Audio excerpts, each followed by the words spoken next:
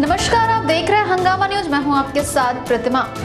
Supreme court द्वारा S C act के बदलाव को लेकर दिए गए आदेश के बाद देश प्रदेश समेत विभिन्न जिलों में आंदोलन बढ़ता जा रहा। कहीं आगजनी तो कहीं तोड़फोड़ कर जुलूस निकाला जा रहा, व प्रदर्शन किया जा रहा। साथ ही दलित संगठनों द्वारा भारत बंद का ऐलान भी किया गया है।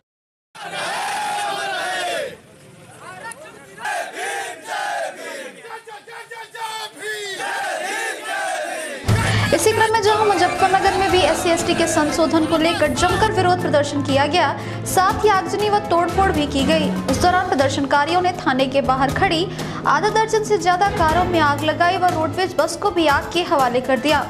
वहीं वाराणसी के महात्मा गांधी काशी विद्यापीठ में भी विद्यार्थियों ने जुलूस निकाला एवं विश्वविद्यालय के कार्य को बंद करने का प्रयास किया।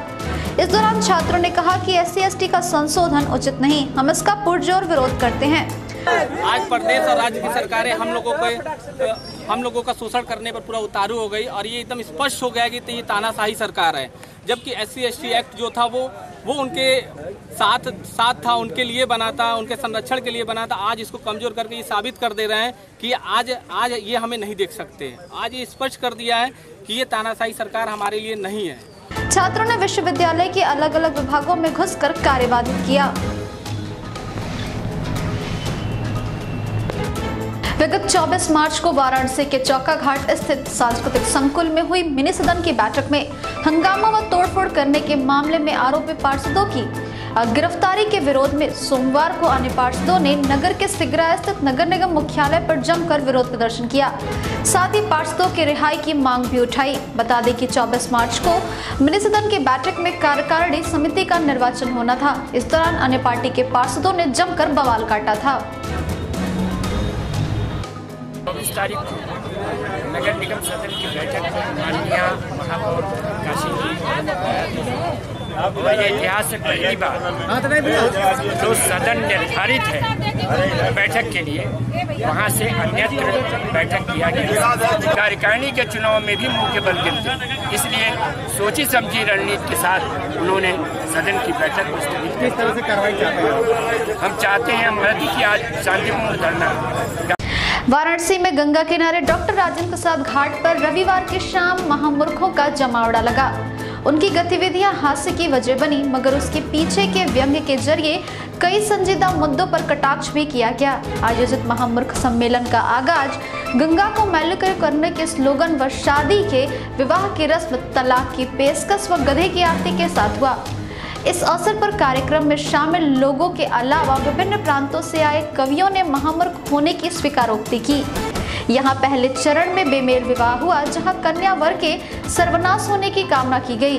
इस दौरान घाट पर बैठे हज़ारों लोगों ने इस अनूठे विवाह का साक्षी बने, साथ ही जमकर ठहाका लगाया।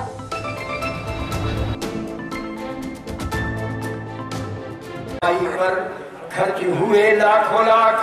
अब विश्व बैंक से अनुदान लीजिए। स्वच्छता के नाम पे जो लूट कर खा रहे ऐसे भ्रष्टाचारियों को गिफ्ट आप दीजिए। यातायात जागरूकता के तहत रविवार को CO traffic police Rakesh Nayak के नेतृत्व में दिव्यांग बंधुओं संघ नगर के विभिन्न विश्वविद्यालय के छात्रों एवं नगर के अन्य गणमान्य लोगों ने वाराणसी के दसवें चित्रंजन पार्क से जागरूकता रैली निकाली जो बेनिया बाग पार्क पहुंचकर समाप्त हुई। रैली में लोगों को यातायात नियम के सावधानी व सुरक्षा के बारे में जानकारी दी जा रही थी। इस दौरान सीओ ट्रैफ़िक राकेश कुमार नायक ने यातायात नियमों की जानकारी दी एवं कहा कि सभी लोगों को यातायात नियमों का पालन करना चाहिए। संगठन के, प्लस हमारे जो टेंपो ड्राइवर भाई हैं, ई रिक्शा वाले भाई अपने जो और अपने जो दिव्यांग भाई, हम सभी लोग मिल के आज यातायात जागरूकता रैली निकाल रहे हैं। हम अपना भी जीवन और सामने वाला का भी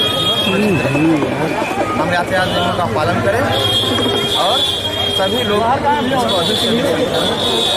इस बुलेटिन में बस इतना ही। बाकी सभी खबरों को जानने के लिए देखते रहिए हंगामा न्यूज़। नमस्कार।